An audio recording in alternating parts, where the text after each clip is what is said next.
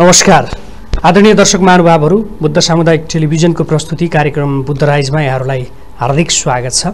हरेक दिन फरक फरक विषयवस्तु र प्रसङ्ग केन्द्रित कुराकानी र छलफल गर्ने कार्यक्रमको यो श्रृङ्खलामा आज हामी चर्चा गर्दैछौँ। प्रदेश नम्बर पाँच प्रदेश सरकारले गरिरहेका काम कारबाहीका सन्दर्भमा आज हामी चर्चा गर्दैछौँ र यो विषयमा कुराकानी गर्नका लागि आज हाम्रो स्टुडियोमा हुनुहुन्छ। नेपाल सरकार प्रदेश सरकारका प्रवक्ता तथा भौतिक योजना मन्त्री बैजनाथ चौधरी आज हाम्रो स्टुडियोमा हुनुहुन्छ। स्वागत छ यहाँलाई मन्त्रीज्यू। धन्यवाद छ मन्त्रीज्यू आरामै हुनुहुन्छ? ठिक छ। आज छठ पर्व तराईका जिल्लाहरूमा छठको एउटा रौनक छ। तर यो प्रदेश सरकारले बिदा दिएन भनेर यत्र तत्र गुनासाहरू चाहिँ आइरहेका छन्। सरकारको प्रवक्ताका हिसाबले यो प्रदेशका छठ मान्नेहरूले बिदा किन पाएन? धन्यवाद छ तपाईँले प्रश्नको लागि। र सबभन्दा पहिला त म छठ मनाउनु हुने सम्पूर्ण नेपाली दाजुभाइ तथा दिदीबहिनीहरूलाई यो प्रदेश सरकार प्रदेश नम्बर पाँचको तर्फबाट हार्दिक मङ्गलमय शुभकामना व्यक्त गर्न चाहन्छु। अब जहाँसम्म रह्यो अब यो छठ मनाउनको लागि पाँच नम्बर प्रदेशले किन बिदा दिएन भन्ने सन्दर्भमा हामीले चर्चा चलायौँ। र कतिले मान्दा रहेछन् त यहाँ? यो पाँच नम्बर प्रदेशमा छठ मनाउनेको सङ्ख्या कति हुँदो रहेछ भनेर हामी बुझ्दै जाँदा। हाम्रो यहाँ चौवालिस लाख चन्चुन हाम्रो जनता हो पाँच नम्बर प्रदेशमा। प्रदेशमा। तर छठ मनाउनेको सङ्ख्या कस्तो छ भने नवलपरासीको खास गरेर यो सुस्ता बेल्ट सुस्ता गाउँपालिकामा अलिक बाक्लै बनाउनुहुन्छ त्यहाँ चाहिँ त्यो बिहारको प्रभाव पनि छ एउटा त। र अर्को अब परासी सदरमुकाममा अब केही माइग्रेट पिपुलहरू जो चाहिँ अब दुई नम्बर प्रदेश हालको दुई नम्बर प्रदेशबाट भनौँ न विगतमै जो बसाइ सरेर आउनु भएको पूर्वी। तराईबाट? पूर्वी तराईबाट बसाइ सरेर आएका साथीहरूले सुरुवात गर्दाखेरि अब केही केही नयाँ मान्छेहरूले पनि अब त्यसमा मनाउन थालेको स्थिति छ। अझ भन्नुहुन्छ भने मेरै वडामा अब पोहोर परारसम्म छठ मनाउने खासै थिएन तर यो वर्ष अब त्यहाँ पनि अब छठको अब पूजा गर्ने भन्ने अब बल्ल सुरुवात हुँदैछ। भनेको संस्कृतिको एक खालको हस्तान्तरण बिस्तारै अब सिको गर्ने। अब सिको गर्ने कुरो हुँदैछ बल्ल। अब अब अझ पश्चिम आउँदाखेरि कस्तो देखिन्छ भने भैरवामा खास गरेर भैरव बजारमा अब केही मनाउने हुनुहुँदो रहेछ। त्यस पछाडि तौली हावामा पनि अब त्यही पूर्वबाट आएका साथीहरूले सुरुवात गर्दाखेरि यहाँका स्थानीयले पनि सँगसँगै मनाउने खालको कुरो। र त्यस्तै अब उहाँ अब नेपालगञ्जमा पनि अब खास गरेर पूर्वबाट माइग्रेट भएर आएका साथीहरूले सुरुवात गर्नुभएको छ र अब बिस्तारै सङ्ख्या चाहिँ केही त बढ्दैछ। अब दुई तिन वर्ष भयो अब यो छठको छठ मनाउनेको सङ्ख्या बढ्दैछ। त हामीले अब हिसाब के गऱ्यौँ भन्दा यहाँ चौवालिस लाख जनतामा लगभग एक लाखको हाराहारीमा मनाउनेको सङ्ख्या देखियो। अब एक लाखले मनाइरहेको सन्दर्भमा आम रूपमा बिदा दिने कि नदिने भन्दाखेरि अब केन्द्रले एक हिसाबले बिदा दिएकै छ। मतलब छठ पर्व मनाउनेको हकमा। अब बिदा भन्ने खालको कुरो हो। अब र खास गरेर अब यसको प्रभाव दुई नम्बरमा हो। दुई नम्बरमा त दुई दिने बिदा उहाँहरूले गर्नुभएकै छ धुमधामका साथ अब त्यहाँ मनाइराख्नु भएकै छ। त्यसो भएको हुनाले हामीले बिदाको सन्दर्भमा अस्ति भर्खरै अस्तिको क्याबिनेटबाट हामीले बिदा कतिवटा हो त बिदा यहाँ? भन्दा हामीले जस्तै यहाँ बुद्ध पूर्णिमा यो प्रदेशको स्थापना दिवस अब माघी भइहाल्यो यहाँ थरुवाटको अब मा थारू र मगर दुइटैको अब माघी खास गरेर अब सङ्क्रान्ति माघे सङ्क्रान्ति अब थारूले पनि मनाउने माघे के अरे मगरले पनि मनाउने।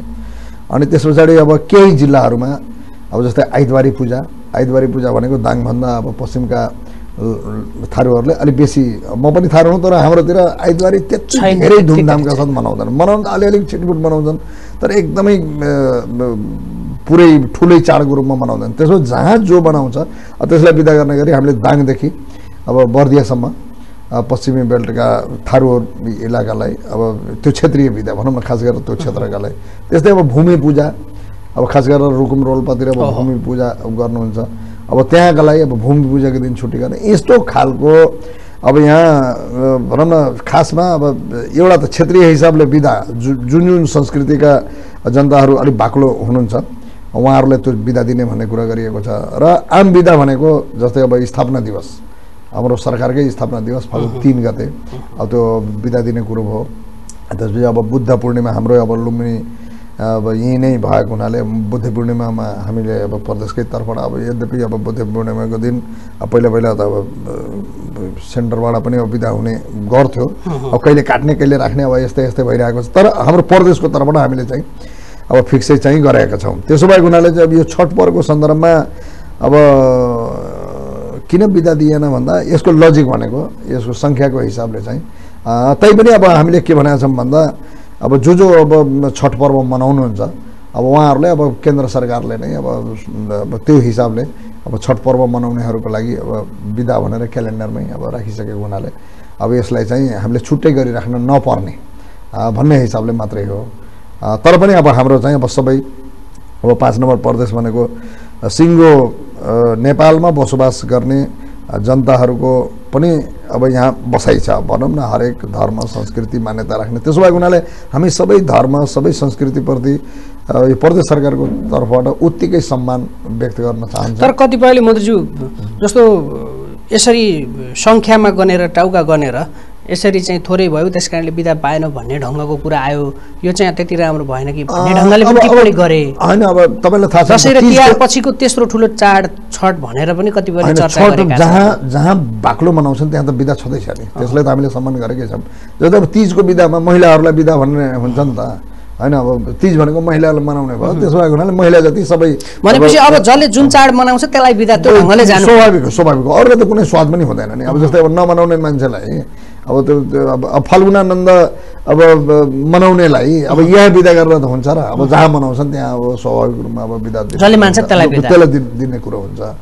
अब त्यसो भएको हुनाले हाम्रो सम्मान छ। प्रदेश सरकारको तर्फबाट सम्पूर्ण छठ पर्व मनाउने भनौँ न धर्मावलम्बीप्रति हामी उत्तिकै सम्मान गर्छौँ फेरि अब त्यो बिदा दिँदैमा सम्मान हुने। भन्ने कुरो होइन। मात्रै अब कति सङ्ख्यामा हो भन्ने कुरा हस्। अब मन्त्रीज्यू यो प्रदेश सरकार गठन भएको पुग नपुग नौ महिना हुन आँट्यो अब होइन? फागुन तिन गतेबाट यो सरकारले आफ्नो काम कारबाही अगाडि बढाएको थियो बढाएको थियो। अब अहिले यो करिब नौ महिनाको अवधिमा समितिहरू पनि गठन भए। खास गरी नाम र स्थानको टुङ्गो लगाउने स्थायी राजधानीको टुङ्गो लगाउने सन्दर्भमा चाहिँ सरकारले स्टेप चाल्न सकेन भन्ने गुनासाहरू आएका छन्। त्यस्तो होइन। अब एउटा त अलिकता ढिलो हामीले सुरु गऱ्यौँ। हजुर। र यो समिति बनिसके पछाडि लगतै चाहिँ अब सदन स्थगित भयो। अब यो सदन स्थगित भइसके पछाडि एउटा कुरो त अब अब सदन चल्दा न सबै मान्यहरू अब। केन्द्रित हुने हो। अब सदन नहुँदाखेरि त स्वाभाविक रूपमा मान्यज्यूहरू आफ्नो आफ्नो। निर्वाचन क्षेत्रमा विशेष विभिन्न पार्टीका काम हुन्छ। अब अरू सामाजिक कामहरू हुन्छ विकास निर्माणकै कामहरू हुन्छ। अब त्यो काममा उहाँहरू व्यस्त हुनुहुन्छ। त्यसो भएको हुनाले अब समिति चाहिँ खास गरेर अरू अरू समिति पनि अब अरू अरू समितिको पनि छिटफुट बैठक त बसिरहेको छ। तर अब खास गरेर सदन चलिरहेको बेलामा अलिक बाक्लो उपस्थिति हुने र त्यसमा अरू अरू समितिहरू पनि अलि एक्टिभ हुने स्वाभाविकै हो। र यो बिचमा चाहिँ अब चाडबाड पनि आयो। अब दसैँ तिहार अब लगायत अब छठ। अब यस्तो चाडबाडको सन्दर्भमा पनि थोरै अब कर्मचारीहरू पनि अब छुट्टीमा हुने अब त्यसो भएको हुनाले मात्रै हो। र पन्ध्र सदस्यीय अब यो राजधानीको स्थान र नामाकरण गर्ने सन्दर्भमा जुन हामीले समिति बनाएका छौँ स्वाभाविक रूपमा एक दुईवटा बैठक नबसेको होइन बैठक बस्यो। तर अब त्यसको कार्यविधि बनाउनु पर्ने अब संयोजक छान्नु पर्ने अब अहिले पनि अब संयोजक हुनुहुन्छ ज्येष्ठ सदस्यको हिसाबले। सरस्वती गौतम अब दुईटा बैठकको अध्यक्षता उहाँले नै गर्नुभयो। गरिराख्नु भएको छ। अब तर अब अलि भनौँ न मोसनमा भनाइको मतलब अब कार्यविधि बनाउने गरी त्यसको चाहिँ अब होइन अब सबै विज्ञहरूसँगको सरसल्लाह गर्ने गरी अब त्यो चाहिँ अझ काम चाहिँ भइसकेको छैन। तर अब मलाई लाग्छ अब यो छठको पछाडि अब हामी अब सुरुवात गर्दैछौँ फेरि। समिति गठन गर्ने त्यो एउटा प्रक्रिया भयो तर मन्त्रीज्यू यो विषयमा चाहिँ सरकारभित्रै मन्त्रीज्यूहरू बिचमै पनि एकमत हुन सकेका छैन भन्ने ढङ्गले आइरहेको छ। होइन यस्तो छ अब एकमत हुने नहुने भन्दा पनि अब यो विषय कस्तो हो भने दुई तिहाईबाट सदनले अब यसको टुङ्गो लाउने। संवैधानिक व्यवस्था त्यो छ। संवैधानिक व्यवस्था त्यो छ। अब त्यसो भएको हुनाले अब स्वाभाविक रूपमा अब त्यहाँ अब जो जो जुन क्षेत्रका मान्य जहाँबाट निर्वाचित हुनुभएको छ स्वाभाविक रूपमा अब त्यो क्षेत्रीयताको कुरो त भइहाल्छ हेर्नुहोस् होइन? अब अब अब पश्चिमकाले अब पश्चिम राजधानी भइदिए हुन्थ्यो भन्ने नै हो पूर्वकाले पूर्वतिर भइदिए हुन्छ भन्ने अब त्यो हुन्छ नै किनभने चुनावको बेलामा पनि अब त्यो इस्यु जनताले पनि। जनताले उठ- उठाएको पनि हुन्छन्। अब त्यसमा अब जनप्रतिनिधिले त्यो बोल्ने कुरा पनि हुन्छ। तर बोल्दैमा कसले के बोल्यो होइन चुनावको बेलामा अथवा कसले के भनिरहेको छ अहिले पनि त्यसले त्यति धेरै म्यानै राख्दैन। अब यो अब जे कुरो पनि विधि विधि बमोजिम जाने कुरा हो। अब विधि बमोजिम जानु पर्दाखेरि स्वाभाविक रूपमा त्यो दुई तिहाईले अब टुङ्गो लाउने कुरा हो। दुई तिहाईले टुङ्गो लाउँदाखेरि अब जहाँ चाहिँ दुई तिहाईको बहुमत पुग्छ नेकपासँग त अहिले स्पष्ट दुई तिहाई छ। अब पार्टीको हिसाबले भन्दा पनि अब यो यो विषय कस्तो हो भने अब मतलब पार्टीगत कुरा त हुँदै हो होइन? अब पार्टीले पनि एउटा धारा त बनाउनु पर्छ जस्तै अब सिङ्गो नेकपाले अब हेटौडामै राजधानी हुने कि नहुने? होइन। अब तिन नम्बरकै अब सबभन्दा बेसी त अझ भन्नुहुन्छ भने अब तिन नम्बरकै कुरा छ। होइन सबभन्दा अल्पमतमा रहेको भनेको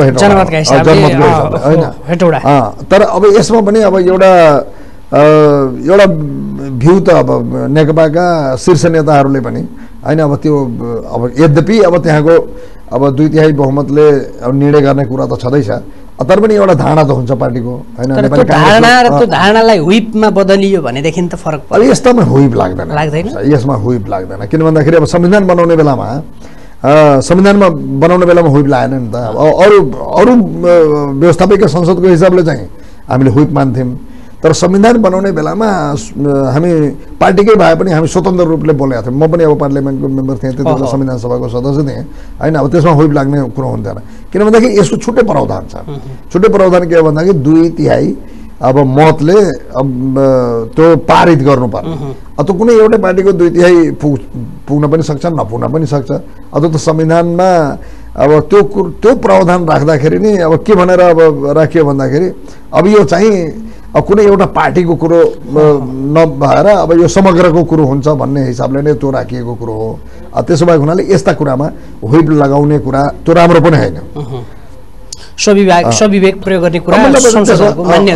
किनभने अब त्यसमा त दुई तिहाई बहुमत जहाँ पुग्छ कहिलेसम्म टुङ्गो लाग्ला मन्त्रीज्यू? हामी अब छिटै टुङ्गो लगाउँछौँ। अब यो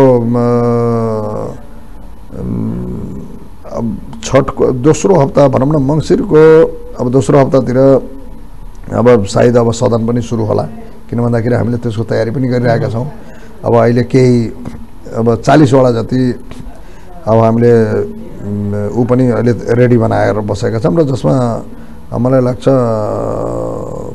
बाह्र पन्ध्रवटा जति त अब अहिले तुरन्तै अब उसमा सदनमा लैजाने गरी अब विधेयकको तयारी पनि भइसकेको छ। अब त्यसो भएको हुनाले अब हामी छिटै अब त्यसको बारेमा हुन त अब अहिले सल्लाह भनेको यो। टुङ्गो नलाग्दाखेरि यसले अरू काममा असर पुगेको छ कि छैन मन्त्रीज्यू? पुग्दैन पुग्दैन हामीले अब हेर्नुहोस् अब हामी यस कारणले पनि त्यसमा त्यति धेरै जोड दिएका छैनौँ कि अहिले तत्काल जनताको समस्या राजधानी कहाँ राख्ने नामाकरण के राख्यो यो यो ठुलो कुरो होइन क्या अहिले यो बिस्तारै गर्दा नि हुन्छ बच्चा। जन्मेपछि नरान गर्ने हो त्यो दायित्वभित्र पर्छ होइन अब जस्तै अब प्रदेश सरकारले आफ्नो कार्यकालभित्र होइन यो पाँच पाँच वर्षको कार्यकालभित्र उसले नाम पनि- राख्न सक्दैन होइन होइन जस्तै मैले मैले भन्न खोजेको कुरो के हो भने आफ्नो कार्यकालभित्र उसले नाम पनि राख्न सक्दैन स्थायित्व कहाँ हो त्यो पनि गर्न सक्दैन भने त त्यो त काम गरेन भन्ने कुरो नै ठहरिन्छ। तर अहिले आवश्यकता के हो त? अहिले नाम र अब राजधानीको आवश्यकता हो कि अहिले पानी धारामा पानी आयो कि आएन होइन? अब हामी अब आफ्नो के भन्छ पालिकाको सदरमुकाममा जाँदाखेरि अलि राम्रो बाटोमा हिँडियो कि हिँडिएन होइन घरमा बिजुली आयो कि आएन अथवा चाहिँ स्कुल राम्रोसँग चलाएको छ कि छैन अब यो प्रमुख कुरा हो क्या। त्यसो भएको हुनाले जे कुराको आवश्यकता हो त्यसमा त हामी जोड दिएकै छौँ। त्यसमा हामी अब लागिरहेकै छौँ कि कसरी हुन्छ। अब अहिले अठाइस अरबको बजेट हामीले अब विनियोजन गरेका छौँ। यसलाई शत प्रतिशत कसरी अब कार्यान्वयनमा लैजाने।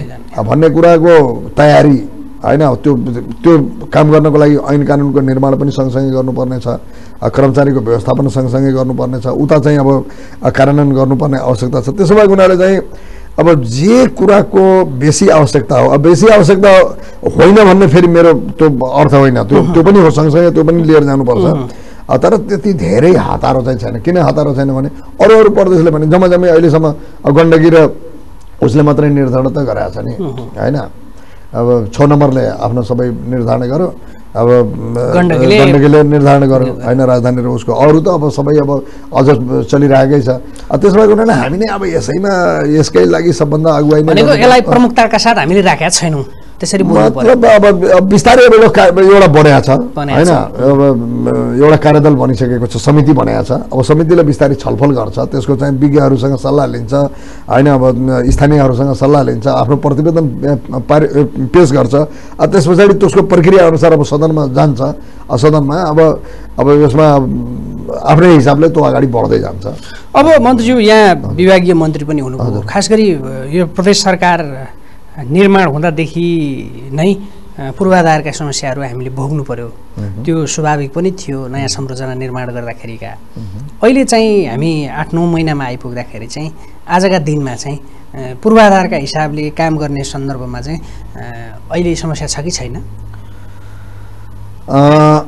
तपाईँले एकदम पिन पोइन्टै उठाउनु भयो।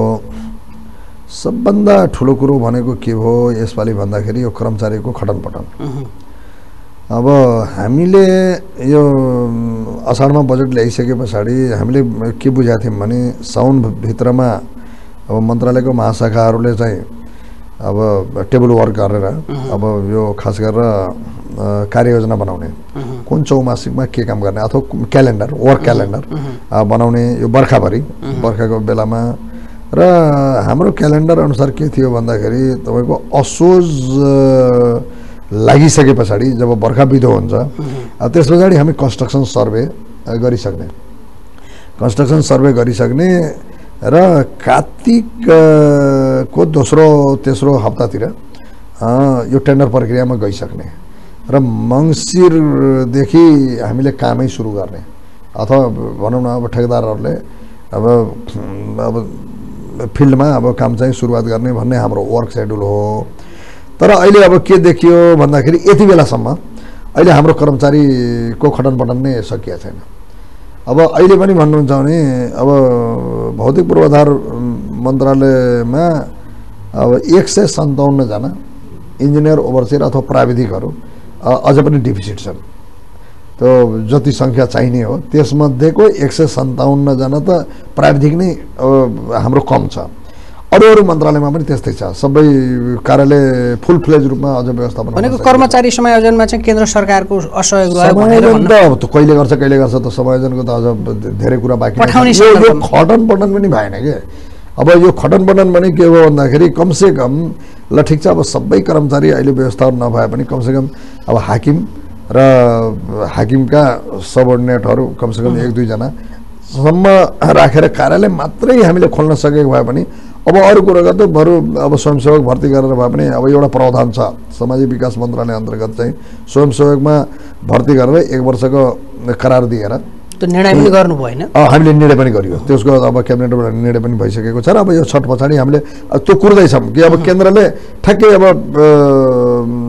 भनौँ न कर्मचारी अब योभन्दा आउँदैन भनेर जस्तै हामीले पनि अलि अलिकति अप्ठ्यारो के भइरहेको छ जस्तै मानिलिनुहोस् मेरो चाहिँ एक सय सन्ताउन्नजना इन्जिनियर ओभरसियरको डिफिसिट मैले अब हाम्रो उसले देखाइरहेको छ चार्टले। अब मैले एक सय सन्ताउन्नजना भर्ती गरौँ भलन्टियरको रूपमा होइन? अनि बाइदेव फेरि त्यसैमा बिचमा मान्छे आइदियो भने। अब उसलाई के गर्ने करारमा हामीले नियुक्ति गरिसक्यो र अब उताबाट मान्छे आउने बित्तिकै अब तेरो काम छैन भने त बिचमा त हटाउनु त पाइँदैन हो त्यसो गर्नाले त्यसको एसुरेन्स हुनु पऱ्यो भन्नेको हो। हामीले त्यही ढङ्गले नै अहिले अब ताकेता पनि गरिरहेका छौँ केन्द्रलाई कि तिमीले पठाउने कति हो त? अब त्यो चाहिँ निधो गर छिटो निधो गर भनेर हामीले भनिरहेका छौँ। र हिजो अस्तिसम्मको मितिमा अब भनौँ न खास गरेर यो प्राविधिक यो पूर्वाधार विकास कार्यालयका अब कर्मचारीहरू अझ पनि आउने क्रम जारी छ। र अलिकति व्यवस्थित भनेको सिँचाइ सिँचाइ कार्यालय अलिक व्यवस्थित भयो खानेपानी कार्यालय अलिक व्यवस्थित भयो तर यो जसमा सबभन्दा धेरै बजेट छ सडकमा। सडक बनाउनेमा। अब सडक बनाउने भनेको पूर्वाधार विकास कार्यालय हो जो पाँचवटा बाह्रवटा जिल्लामध्ये पाँचवटामा डिभिजन कार्यालय राख्ने भनिएको छ। अहिलेसम्म हामीले त्यो सबै ठाउँमा कार्यालय स्थापना पनि गर्न सकेका छैनौँ कि किन भन्दाखेरि त्यो कर्मचारी आएका छैन। अब यस्तो छ हालत। त्यसो भएको हुनाले चाहिँ अब कठिनाइ अरू कुरो होइन। हामीले जस्तै अब त्यसको नियम कानुन बनाउने कुरामा कुनै कठिनाइ भएको छैन। कर्मचारी मात्रै आइदिने बित्तिकै हामीले चाहिँ अब काम चाहिँ सुरु गर्थ्यौँ। किनभने मन्त्रालय आफैले टेन्डर गर्न मिल्दैन त्यो डिभिजन कार्यालयले टेन्डर गर्ने हो। निर्देशनालय हामीले हाम्रो वैनममा निर्देशनालय छ। अहिलेसम्म निर्देशक पठाइदिएका छन्। हामीले निर्देशनालय अहिलेसम्म खोल्नै सकेका छैनौँ। पूर्वाधार अहिलेसम्म- कर्मचारीका सन्दर्भमा चाहिँ अलिकति सहयोग त्यति हुन सकेन प्रदेश सरकारलाई। त्यसरी बुझ्नु मतलब केन्द्रले वास्तवमा भन्नुहुन्छ भने कि पहिल्यै उसले किटानी गर्नुपर्थ्यो कि? कि हाम्रो यो महिनाको यो गतेसम्म यति कर्मचारी पठाइसक्छौँ। दिन सक्ने यो हो त्यस पछाडि आफ्नो व्यवस्था आफै गर। भनेर भनिदिएको भए हामीले त्यही ढङ्गले नै अब काम सुरु गर्थ्यौँ। अब मन्त्रीज्यू कर्मचारी नहुने कुरा अरू पूर्वाधार नहुने कुरा यी एउटा पाटो भयो होइन। तर जनताले चाहिँ यस्ता कुराहरू नबुझ्न पनि सक्छन्। ती सर्वसाधारणहरूले चाहिँ प्रदेश सरकारबाट चाहिँ जुन ढङ्गको अपेक्षा थियो त्यो ढङ्गले काम हुन सकेन भन्ने ढङ्गले यदा कदा प्रदेश सरकारका सन्दर्भमा गुनासाहरू आउन थालेका छन्। संक्षिप्तमा हामी कार्यक्रमको अन्तिममा छौँ। ती जनतालाई जसले प्रदेश सरकारको एक्सन देख्न चाहन्थे त्यो देख्न सकेनन् भन्ने जनतालाई चाहिँ हिसाबले म। सम्पूर्ण दाजुभाइ दिदीबहिनीहरूलाई के अनुरोध गर्न चाहन्छु भने यो पहिलोचोटि ऐतिहासिक पहिलोचोटिको यो प्रदेश सरकार हो। प्रदेश सरकारको दुईवटा बिजनेस सँगसँगै छन्। एउटा कानुन बनाउने कुराहरू किनभने हामी जिरो कानुन। अहिलेसम्म हामीसँग एउटा सुरुमा आउँदाखेरि त जि कानुनै थिएन। अब कसले बनाइदिने होला होइन? हामी नै पहिलो सरकार हो। त्यसो भएको हुनाले चाहिँ हामी कानुन पनि सँगसँगै बनाउँदै जाने। र विकास निर्माणका कामहरू कर्मचारी व्यवस्थापन गर्दै त कार्यान्वयन पनि गर्दै जाने। यो दुईवटा सँगसँगै विकासका कुरा र कानुनका कुरा। होइन ल मेकरका कुरा पनि छन् र यता निर्माणका कुरा पनि छन्। यो दुइटै कुरा हामी सँगसँगै लिएर जाँदैछौँ र अब कानुनका कुरा गर्ने हो भने अहिलेसम्म हामीले चालिसवटा जति ड्राफ्ट गरिसकेका छौँ। होइन अब जस्तै अब त्यसमा कार्यविधि कतिपय कार्यविधि हुन्छन् कतिपय निर्देशिका होलान् कतिपय चाहिँ अब नियम होलान्। र यो गरेर हामीले चालिसवटा जति हामीले उ बनाएका छौँ। र एक सय सोह्रवटाको हाम्रो आइडेन्टिफिकेसन पनि गरिसकेका छौँ र एक सय सोह्रवटा कानुन। हामीले यही वर्ष यही वर्ष नै हामी एक सय सोह्रवटा कानुन बनाउँदैछौँ। त हामीले त दुइटै कुराहरू सँगसँगै लिएर जाने कुरो गर्दैछौँ र अर्को हामीले बजेट विनियोजन गरिसकेका छौँ र बजेट कार्यान्वयनको लागि हामीले कार्ययोजना पनि बनाइसकेका छौँ। कार्ययोजना पनि बनिसकेका छ मात्रै कार्यान्वयन गर्नलाई अब समय त छ अब असाढ मसान्तसम्म अब समय हुन्छ। तर पनि वर्क सेड्युलको हिसाबले हामी अलिकति एक महिना पछाडि पऱ्यौँ कि भन्ने छ। एक महिना अगाडि यदि हामीले कन्स्ट्रक्सन सर्वे गरेर अहिले हामी टेन्डर अवार्ड गर्ने परिस्थितिमा पुगेको हामी ठिक सेड्युलमा हुन्थ्यौँ। र त्यो चाहिँ अलिकति एक महिना अलिक पछाडि परेको छ भन्ने हामीले लागेको छ। तर यसको सँगसँगै हामीले दुई तिनवटा अरू पनि काम गरेका छौँ। अरू अरू प्रदेशले अहिलेसम्म योजना आयोग बनाएको छैन। हामीले सुरुमै प्रदेश योजना आयोग बनायौँ र प्रदेश योजना आयोगले अहिले आवधिक योजनाहरू बनाउने काम चाहिँ सुरु गरेको छ। हामीले कानुन मसौदा आयोग सुरुमै बनायौँ र कानुन मसौदा आयोगले चाहिँ थुप्रै अब भनौँ न कानुनका मसौदा गर्ने कुराहरू विभिन्न मन्त्रालयहरूको सहयोग लिएर अब आफ्नो एक्सपर्टिज उसले देखाइरहेको छ। भनेपछि त हामी कामै गरिरहेका छैनौँ भन्ने कुरा होइन। हामी काम त दिन दिन त जनताको नजरमा आउटपुट एकैचोटि देखिन्न। अब यसको तयारीमै तयारी चरणमै लाग्छ। जस्तै अब प्रदेश योजना आयोगको आउटपुट तपाईँले कसरी देख्नुहुन्छ? उसले त प्लान बनाउने हो होइन अब त अब त्यहाँ छलफल प्लानरी हिसाबले हामी पुरै चाहिँ नि फुल फेजमा। एकदमै एकदमै हामी प्लानरी हस्, हिसाबले हामी अगाडि छौँ। यो। निकै महत्त्वपूर्ण समय सान्दर्भिक सम्वादका लागि अर्को अर्को पटक यहाँसँग सम्वाद गर्दा प्रदेश सरकारले गरेका तमाम रचनात्मक कामका विषयमा छलफल र समीक्षा गर्नेछौँ। यो आशा र विश्वासका साथ व्यस्त समयका बावजुद हाम्रो स्टुडियोसम्म आइदिनु भयो यहाँलाई धेरै धेरै धन्यवाद। ल धन्यवाद छ विक्रमजी र तपाईँको यो टेलिभिजनलाई पनि अब यो समसामयिक परिस्थितिको बारेमा प्रदेश सरकारको धारणा राख्ने मौका दिनुभयो। यसको लागि धेरै धेरै धन्यवाद। धन्यवाद। आदरणीय दर्शक महानुभावहरू हामी कुराकानी गर्दै थियौँ कि प्रदेश नम्बर पाँचले गरेका काम कारवाहीका सन्दर्भमा यो विषयमा कुराकानी गर्नका लागि प्रदेश सरकारका प्रवक्ता भौतिक तथा योजना मन्त्री बैजनाथ चौधरी आज हाम्रो स्टुडियोमा हुनुहुन्थ्यो। उहाँसँग गरिएको यो संवाद सँगसँगै आजको कार्यक्रमबाट सम्पूर्ण युनिट आज्ञा दिनुहोस् नमस्ते।